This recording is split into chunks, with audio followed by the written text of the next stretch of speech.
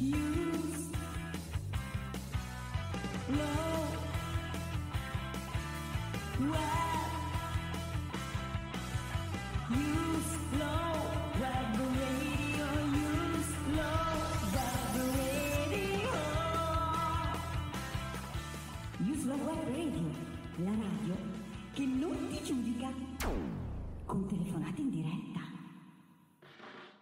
Buongiorno, oggi giovedì 15 aprile sono le 9. Un caro saluto a chi ci ascolta. Sta per iniziare Svegliati Avvocatura. Uslow Web Radio, la radio dell'avvocatura, da colleghi a colleghi. Da colleghi a colleghi. Buongiorno cari amiche e cari amici ascoltatori, sono Domenico Monterisi in diretta da Barletta. Con me collegato oggi c'è eh, Stefano Dell'Orto da Milano. Ciao Stefano. Ciao Domenico, ben trovato, ciao Ornella e un buongiorno a tutte le nostre ascoltatrici e i nostri ascoltatori. Allora eh, Stefano, oggi parliamo come spesso ci capita il giovedì di eh, condominio. Eh, partirei subito con la prima intervista del nostro Angelo Marzo all'avvocato Michele Zuppardi, il quale ci parla dell'obbligo di eh, custodia eh, e il risarcimento del danno in condominio, le responsabilità dei condomini e degli amministratori. Possiamo senz'altro partire con il contributo. Scarica la nostra app Uslow Web Radio per Apple e Android. Buongiorno all'amico e collega Michele Zuppardi. Buongiorno Angelo, buongiorno a te.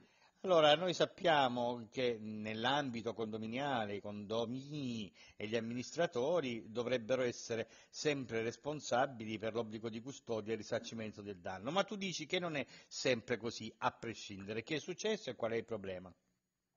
No, non lo dico io, in realtà lo dice una bella sentenza resa mm, un mese fa, un mese e mezzo fa eh, dal Tribunale di Roma.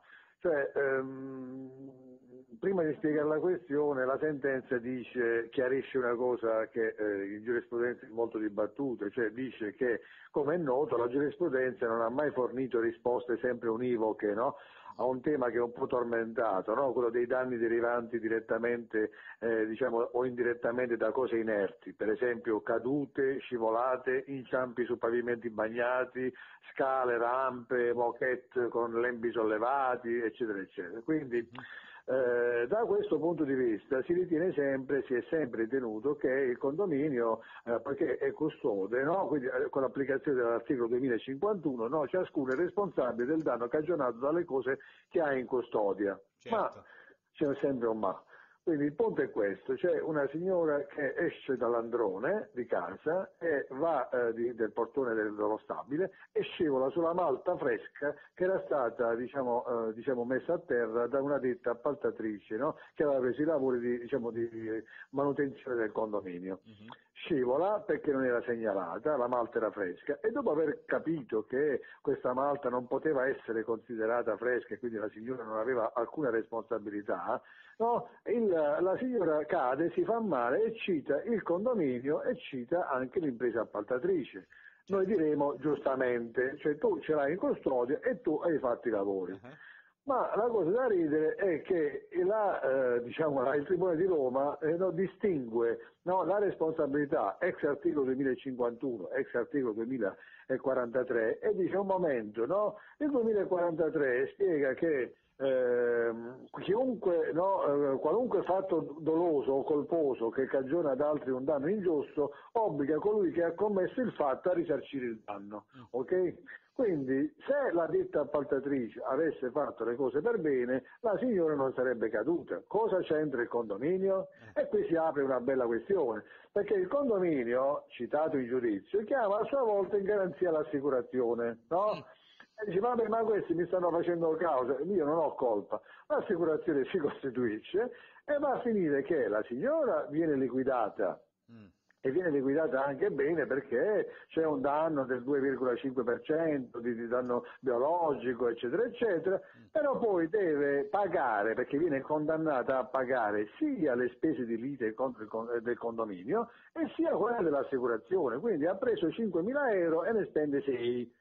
Perché questo? Perché incautamente hai chiamato in causa colui che è custode, ma non è che io sono custode e posso rispondere delle stupidaggini fatte dagli altri, questo è il senso della sentenza. Quindi, perché noi sem- sempre riteniamo, no? cioè, io me la prendo col condominio, perché comunque il condominio c'entra, Eh, ma certo. essere custode non significa eh, sempre rimanere fregati perché qualcun altro fa errori, no, perché io posso essere custode, ma è custode inconsapevole.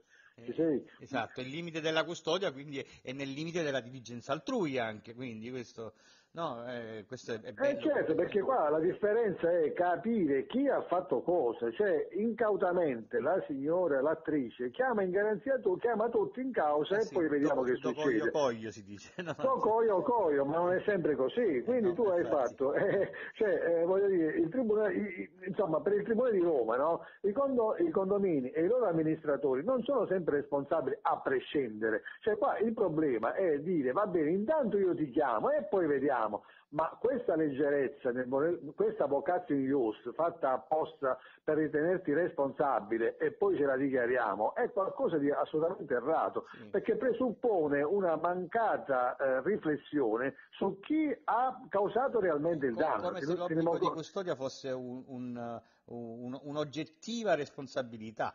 È il... Un'oggettiva resp- bravissimo, ma soprattutto no, eh, tu eh, alla fine, se- nel caso di specie, no, dal danno che hai avuto poi hai avuto la beffa, perché che tu prendi una somma liquidata perché avevi ragione da rendere, perché la Malta, dice addirittura il Tribunale di Roma, si guarda che la Malta non potevo, se non toccandola, io non potevo capire che fosse fresca. E quindi sai quando noi diciamo facciamo causa al comune perché diciamo tu hai la custodia, ho capito, ma se tu metti il piede sul foglio diciamo sporco della focaccina e scevoli perché c'era l'olio, eh, un po' te la sei cercata, no? E quindi noi abbiamo visto tante sentenze di questo tipo. Quindi è, bello, è bella questa sentenza del Tribunale di Roma perché fa una premessa e dice la giurisprudenza, come è noto, non ha mai fornito risposte univoche. Quindi se il caso va valutato, perdonami, no, caso per caso, perché tu citi il condominio a prescindere? Ecco, questa è no, la chicca di questa bella sentenza del Tribunale di Roma.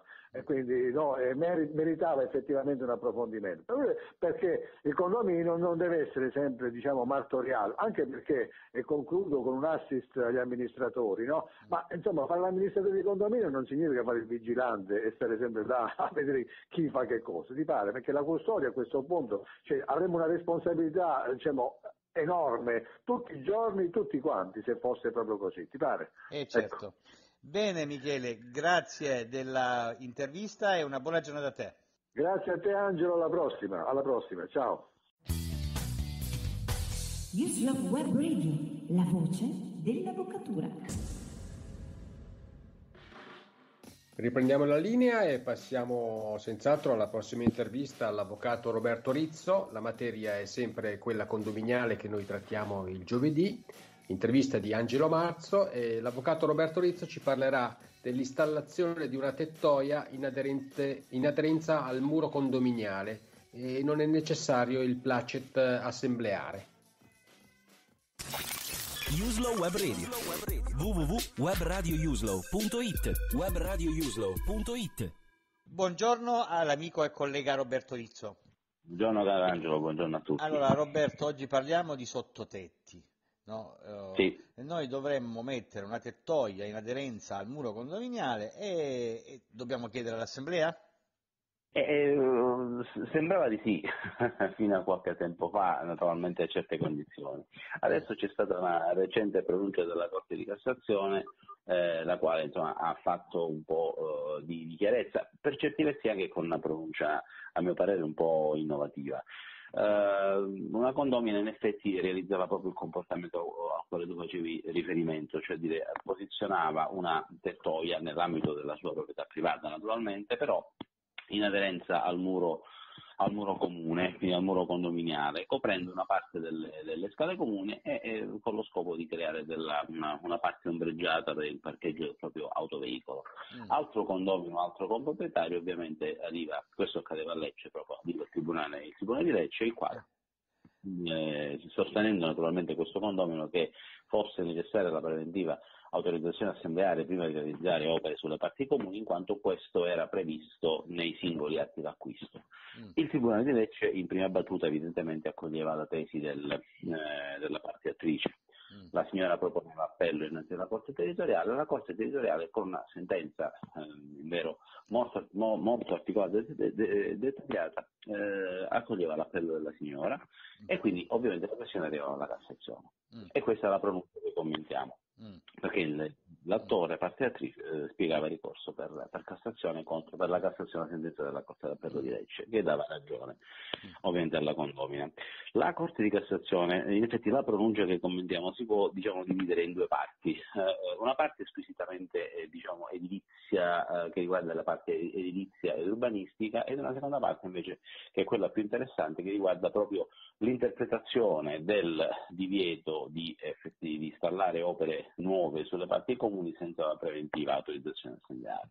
La prima parte è classica, cioè la Cassazione, mh, mm, eh, sposando appieno le, quelle che erano state le risultanze della consulenza tecnica d'ufficio espletata in eh, secondo grado e quindi condividendo l'impostazione della Corte Appello di Legge, notava dal punto di vista squisitamente, ripeto, di inizio urbanistico, che la struttura eh, poggiata in aderenza al muro condominiale da parte della signora in realtà non poteva definirsi tecnicamente come eh, una tettoia eh, o come una veranda, cioè non determinava aumento di volumetria, eh. non alterava il prospetto del fabbricato, era una struttura eh, leggera in ferro alluminio removibile con lo scopo esclusivo di fornire ombra e riparo, quindi secondo la più classica denominazione urbanistica non necessitava evidentemente di particolari autorizzazioni. Mm. Presso questo, ma come diretta conseguenza di questo, proprio per la struttura così leggera, così agile se vogliamo della, della stessa struttura, la Corte d'Appello di Lecce e la Cassazione condivide questa impostazione,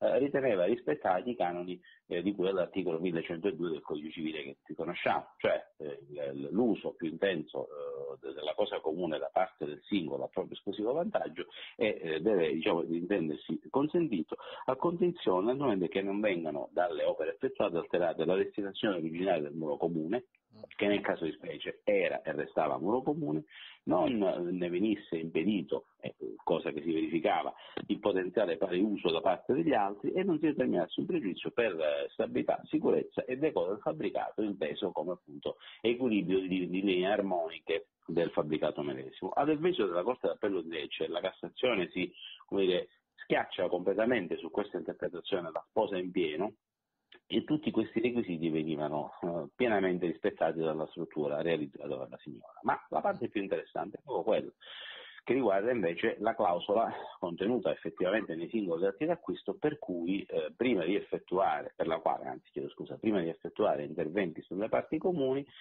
era fosse necessario eh, eh, chiedere il preventivo per permesso dell'Assemblea. Mm. Eh, da questo punto di vista eh, diciamo, la, la, Cassazione rigetta questo tipo di censura eh, sollevata dalla, dal ricorrente e, mh, e, e, e diciamo, ad avviso della, della Corte, della, della, Corte di Cassazione e della Corte d'Appello, quindi a seguito di, una, di un'analisi approfondita, ha interpretato il contenuto letterale delle clausole contrattuali eh, contenenti il divieto in parola in modo logico ed, ed esaustivo, no? anche perché la Corte d'Appello ha condiviso pienamente tecnicamente le risultanze della CDU.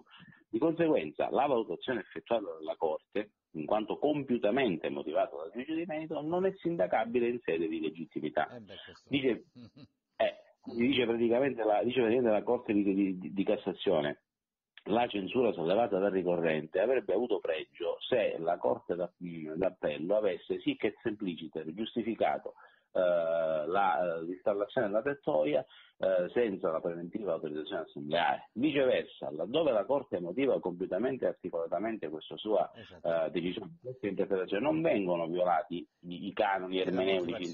Certo. Esattamente. E quindi, voglio dire, essendo una motivazione logica, la censura in sede di appello, in sede di Cassazione, non può trovare accoglimento. Per cui, rispettati i limiti di cui all'articolo 1102, motivata logicamente la eh, interpretazione delle clausole contrattuali eh, fornite dalla Corte d'Appello, la, la, la, Cassazione ne condivide in toto l'impostazione e quindi dà ragione alla signora eh, che aveva liberamente installato la tettoia che poi toglie diciamo, la copertura Eh. in, in assenza del preventivo consenso assembleare. Bene, Questa è la- grazie Roberto di questi tuoi sempre istantanei e chicche sul punto condominiale e una buona giornata a te. Grazie Angelo, un abbraccio forte, grazie a tutti, a presto, buona giornata. Newslog Web Radio, la voce dell'avvocatura. Siamo quindi al termine di questa puntata di giovedì 15 aprile. Un saluto ai nostri ascoltatori e le ascoltatrici e ai colleghi che ci ascoltano. Buone udienze, che siano dal vivo o da remoto. A te la linea Stefano per i saluti. Sì, mh, estendo anch'io i saluti a tutte le nostre ascoltatrici, i nostri ascoltatori. Ringrazio ancora Ornella per averci assistito e ci sentiamo domani sempre con Svegliati Avvocatura.